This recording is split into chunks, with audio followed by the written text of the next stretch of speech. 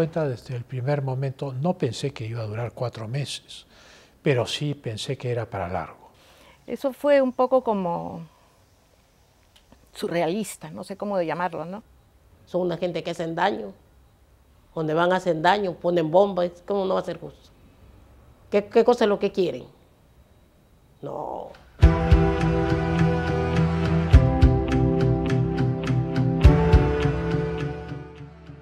La toma de la Embajada del Japón fue el Día Nacional del Japón, que es el cumpleaños del emperador, y la recepción estaba planeada de antemano. Llegué a la recepción y a los 30 minutos de haber llegado a la recepción quedé atrapado en medio de un ataque terrorista. Al poco tiempo de haber tomado la embajada me llamaron por mi nombre. Entonces a la primera llamada yo no reaccioné porque claro, es un poco aterrador ser llamado por terroristas por el nombre de uno. A la segunda llamada llegué a la conclusión que no había más remedio. Entonces me puse de pie y fui donde el terrorista y entonces le extendí la mano y le dije, Francisco Tudela, mucho gusto, cosa que lo desconcertó enormemente. Y me dijo, usted va al segundo piso. Sin tocarme me llevó al segundo piso. Y ahí llegué a presencia de Néstor Serpa Cartolini y ese es el momento en el cual me dice que estoy condenado a muerte y me increpa por trabajar para el gobierno y yo le contesto que no trabajo para el gobierno, sino para mi país. El MRTA pedía o los que estaban ahí pedían, porque era todo lo que quedaba del MRTA en realidad, pedían la liberación de todos sus presos que estaban en las cárceles del país y de todos sus jefes, que eran asesinos y que cuando volvieron a ser juzgados por tribunales eh, ya no especiales, sino por tribunales civiles regulares, volvieron a ser condenados a las mismas penas. Era imposible para el gobierno soltar a estas personas. ¿Cómo era el tiempo que había que el tiempo del terrorismo? Uno salía y no sabía si regresar vivo a su casa. Volaban el, los micros, ¿sí o no? Pasaba por un sitio que le habían puesto una, una bomba a un carro y uno también volaba. Así era. No, o sea, era una cosa bien, bien, bien extraña, ¿no? Y lo que yo me acuerdo es que lo vivíamos como en off, ¿no? O sea, así como como que no era de nosotros, ¿no? O sea, como que era una cosa de otras personas, pero estábamos viviendo, ¿no? No, terrorismo no sirve. No sirve. Bueno, ellos eh, eh, fueron eh, disfrazados de, médicos y paramédicos en una ambulancia, consiguieron una ambulancia y fueron a una, entraron a una casa que estaba al lado de la residencia del embajador del Japón el día antes. Esa casa había sido alquilada, se supo luego, por una ONG alemana de la cual no se encontró rastro después. O sea, los, los, que, los arrendatarios desaparecieron, pero les dejaron las llaves al MRTA. Y entonces ingresaron a esta casa, pusieron explosivo plástico, entre la pared del jardín de esta casa que colindaba con el jardín de la residencia eh, japonesa y a eso de las 8 de la noche hicieron detonar esta carga, se abrió un forado en la pared, entraron disparando y gritando y habían estudiado a la perfección la casa, mientras un grupo corría hacia la puerta principal para que nadie pueda escapar, el otro grupo, como quien arrea ganado a balazos, nos iba empujando hacia el interior de la residencia para capturarnos a todos. Tenían armamento pesado, tenían AK-47 cada uno de ellos, pistolas de 9 milímetros cada uno de ellos, eh, tenían minas antitanques, explosivo plástico, mochilas de granadas, eh, un instalaza que es un bazooka antitanque, con, tres proyectiles. En fin, tenían un arma de cuchillos, radios para comunicarse entre ellos. Estaban totalmente preparados.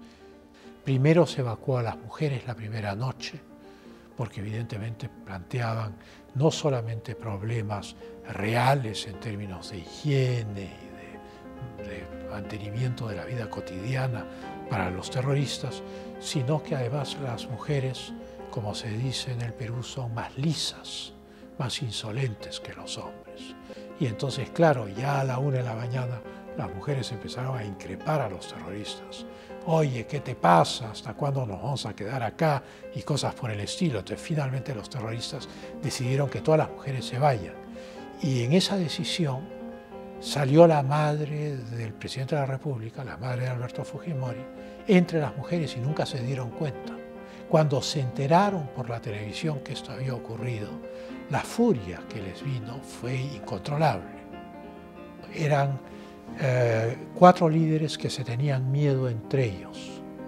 Serpa Cartolini y el árabe estaban dispuestos a negociar. No es que fueran flexibles, pero estaban dispuestos a negociar.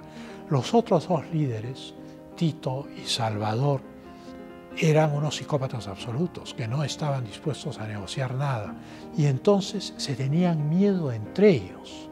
Y Serpa Cartolini y el árabe pensaban que si se ponían muy blando, los otros dos los iban a matar. Era un secuestro muy extraño en el cual veíamos lo que nos sucedía en vivo y en directo a nosotros dentro de la embajada y veíamos todo lo que sucedía afuera y lo que se decía afuera eh, a través de la televisión. Bueno, los primeros días fueron muy difíciles. Tuve una otitis media por las malas condiciones higiénicas. A partir del tercer día se cortó la luz eléctrica, o sea que ya no hubo televisión, también se cortó el agua, o sea que no hubo servicios higiénicos, ni duchas, ni lavatorios. Cuando ya se estableció el contacto con los garantes, esto es con el Vaticano y el Canadá, eh, a través de ellos logré que se me envíen antibióticos. Entonces esa primera etapa de, digamos, 15 días enfermo, durmiendo en el suelo, fue muy dura. Fueron 126 días sin luz, sin agua, sin luz del sol. Sabíamos que la cosa no era fácil, porque algunos que salieron algunas personas que salieron contaron como que todo había sido muy jocoso. Estoy recordando la entrevista en televisión de dos o tres políticos, tal vez por eso mismo lo, lo, contaban como en una forma menos grave para que no tuviera consecuencias políticas, ¿no? Y decían, no, no, si nos turnábamos, hacíamos los sándwiches y, y, poníamos tal cosa, pero mi esposo nos, nos había dicho claramente, ¿no? Sacaron los primeros días de la comida que había quedado en los jardines, y me tocó un cuarto de pan francés, me decía mi marido. Naturalmente había la interacción con los terroristas, que no era nada fácil. En las noches eh, arrastraban la punta de los fusiles sobre las caras de los que dormían eh, para ver si nos golpeaban o nos arañaban, cosa que ocurrió varias veces. Había una violencia constante, amenazas constantes. No hubo nunca simpatía hacia ellos y creo que tampoco hubo ninguna simpatía de ellos hacia nosotros. El que desde el primer día fue encargado de matarme, que solo lo conozco por su apodo, que era Coné, el día final, el día 126, hizo todo lo que pudo por matarme, o sea, estaba endoctrinado. De tal manera que fue, fue muy difícil, hubo que ir eh, viviendo día a día, eh, enfrentando crisis día a día, entonces no podía deprimirme, no podía tirarme en un rincón, tenía que hablar con los garantes cuando estos venían, que eran los mediadores, tenía que hablar todos los días con los jefes terroristas, tenía que hablar todos los días con los rehenes. Y entonces eso en el fondo eh, me salvó anímicamente.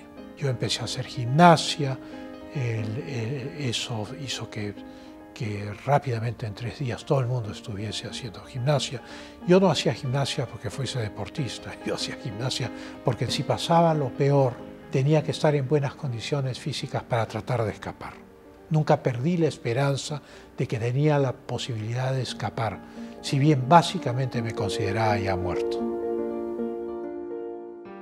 Fue muy difícil en el proceso de negociaciones, esto nunca lo he contado, si bien mis compañeros de cuarto son testigos de esto, yo preparé una matriz de negociación para ayudar a los terroristas. Y les entregué la matriz y les enseñé cómo funcionaba, como en la teoría de juegos. Uh, esa noche fueron a negociar y al día siguiente uh, el obispo Juan Luis Cipriani, que era el garante, el representante del Vaticano, me dijo, anoche la negociación ha progresado enormemente, no sé qué ha pasado. Pero el hecho es que los cuatro jefes terroristas creyeron que yo les había tendido una trampa con esta matriz de negociación, justamente porque había sido todo muy fácil. Y entonces la rompieron en pedazos y la tiraron al tacho de basura, enfureciéndose conmigo. Naturalmente eso era una cosa de locos. Nosotros no sabíamos lo que pasaba afuera. Yo personalmente sí sabía, porque conversaba con el embajador Anthony Vincent del Canadá y con el obispo Juan Luis Cipriani, que estaban en contacto directo con el presidente en esta mediación que ellos hacían. Y entonces sabía cómo se iban acabando las opciones eh, y cómo las posiciones llegaban a un punto en el cual ninguna de las dos partes podía ceder más. Los terroristas querían irse con sus rescatados y nosotros los rehenes a la selva peruana y decían que nos iban a liberar ahí. Conociéndolos bien y habiendo conversado con ellos durante 126 días, yo personalmente estoy convencido que nos iban a matar y iban a escapar en la espesura del monte. Pero bueno, el hecho es que el gobierno fue cediendo y finalmente les hizo una oferta. Un avión para irse a Cuba, una bolsa de viaje de 100 mil dólares y ocho prisioneros del MRTA de poca monta que les permitiesen salvar la cara. Entraron en cavilaciones los terroristas porque llegó una carta de Fidel Castro. Yo fui el único rehén que tuvo acceso a esa carta porque los, terroristas también habían eh, determinado que yo tenía que ser el interlocutor entre ellos y los rehenes, a pesar de que me habían condenado a muerte. Y la carta de Fidel Castro era una carta en la cual los recibía con los brazos abiertos en Cuba, pero en ningún momento de la carta les pedía que depongan su actitud y vayan a Cuba. O sea, Fidel Castro tenía que salvaguardar su prestigio de líder guerrillero y no podía pedirles por esta idea absurda de que todavía era un líder guerrillero aunque tuviese ochenta y tantos años, no podía pedirles que depongan las armas. Y Castro en esa carta les hubiera pedido que depongan las armas y acepten la oferta del gobierno y se vayan a Cuba, esta gente hubiera hecho una carrera política. Finalmente rechazaron la oferta del gobierno y la invitación de Castro en un momento dado, eh, yo les pregunté ya al final, ya sería en el día 110, cuánto tiempo pensaban quedarse y prolongar esto. Y me dijeron hasta julio. O sea, pensaban ellos que podían mantener su posición hasta julio, cosa que significa que ya habían entrado en un mundo de irrealidad absoluta. O sea, era evidente para cualquier persona con dos dedos de frente que esto iba a terminar violentamente, puesto que las negociaciones habían fracasado completamente. Serpa Cartolini decide que ya no va a haber ayuda médica, una semana antes. Para esto, el presidente Fujimori había viajado a La Habana y de ahí a Toronto, en el Canadá. Viajó a La Habana para conseguir esta carta de Castro, en la cual Castro les ofrece asilo en Cuba a los terroristas y viajó al Canadá para tener una bilateral, una reunión bilateral con el gobierno japonés. Y en esa reunión bilateral se redactó un acuerdo que se hizo público y salió publicado y se repartió por radio y fue dado a los terroristas y todos sabíamos que existía, que se llamaba el Acuerdo de Toronto. Y una de las cláusulas del Acuerdo de Toronto era que el gobierno no ejercería eh, su derecho al uso de la fuerza, salvo si se amenazaba la integridad física y psíquica de los rehenes. Cortar la ayuda médica era violar el Acuerdo de Toronto. Bueno, la operación de rescate eh, fue muy rápida para quienes la vieron desde fuera, para quienes la vimos desde dentro fue eterna.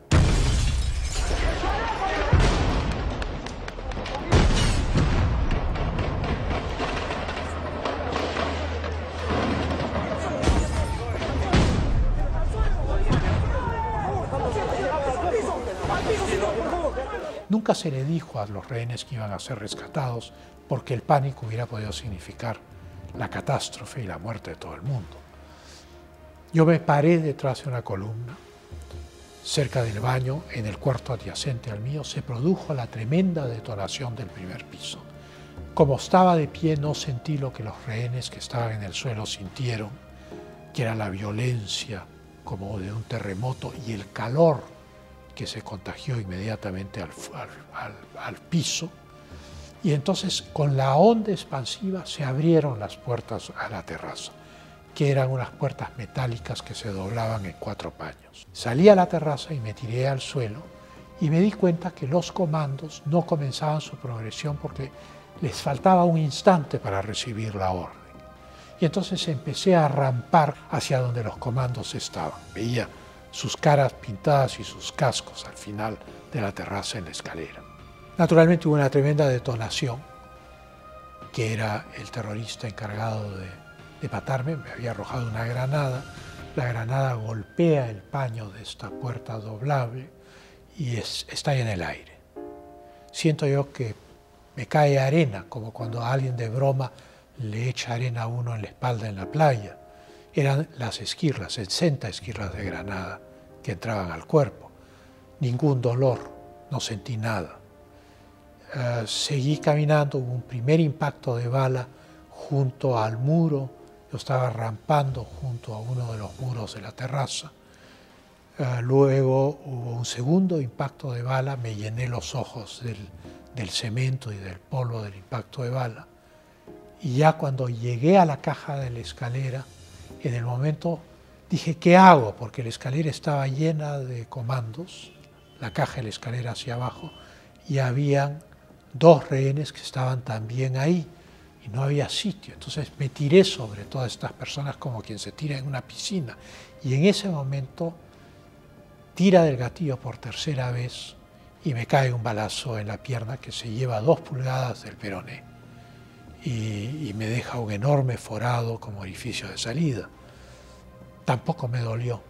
Sentí un golpe tremendo, como esos martillos con los cuales se rompen las pistas. Un golpe descomunal en la pierna, descomunal. Y luego que me quemaba. Dolor ninguno. La adrenalina elimina el dolor.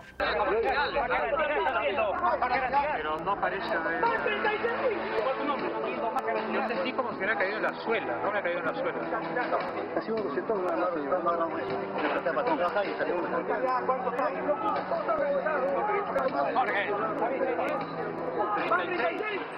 y junto a la puerta, cuando yo salto ya a la caja de la escalera, escucho el grito de uno de los comandos que dice, le han dado al comandante. Y veo un comando echado boca arriba sin el casco, con el pelo rubio, con rulos, que después por las fotografías me entero que es el comandante Valer. Pero el heroísmo es de los 120 comandos, o sea, nadie tiene una idea de la balacera que era eso. Nadie tiene una idea de lo que es entrar a una residencia a oscuras, llena de humo de las explosiones, con 16 terroristas armados hasta los dientes atrincherados adentro y con 72 rehenes tirados en el suelo y tener que identificar en medio del ruido, la balacera, el humo, la imposibilidad de ver, tener que identificar a los rehenes para decirles que vayan hacia la puerta y tener que defenderlos de los terroristas. Era una misión casi imposible. Es un milagro que haya triunfado, pero también es un acto de heroísmo y de enorme dominio sobre sí mismos, de los comandos, de un dominio sobre sí mismos sobrehumano. Señores, en el Perú no vamos a aceptar el terrorismo. En el Perú vamos a fundamentar los principios de la democracia. Y le hemos dado un ejemplo a la comunidad internacional que no se debe permitir el chantaje de los terroristas, que no se debe ceder.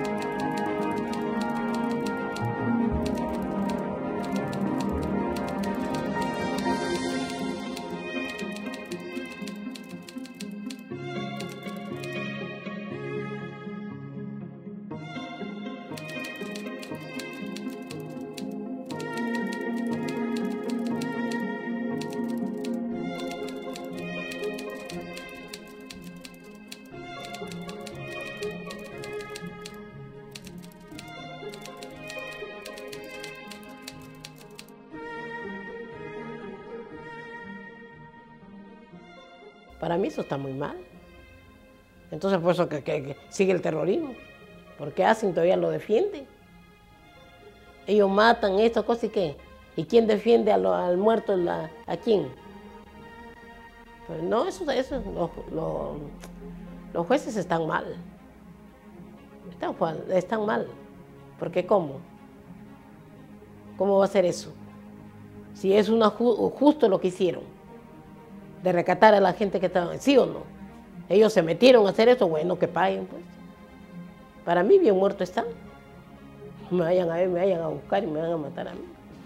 Sí, me parece que tuvieron una labor muy, muy buena y a tal extremo que me ha provocado más de alguna vez acercarme o dejar algún eh, testimonio de, de, cómo se jugaron el todo por el todo, ¿no? O sea, realmente se lo jugaron, ¿no? Yo creo que los grandes héroes son ellos. Nosotros aguantamos un cautiverio horrendo durante 126 días, pero los héroes, los que realmente han decidido morir por sus semejantes, Además, fueron voluntarios, cosa que la opinión pública no sabe. Todos eran voluntarios. Ellos son los héroes.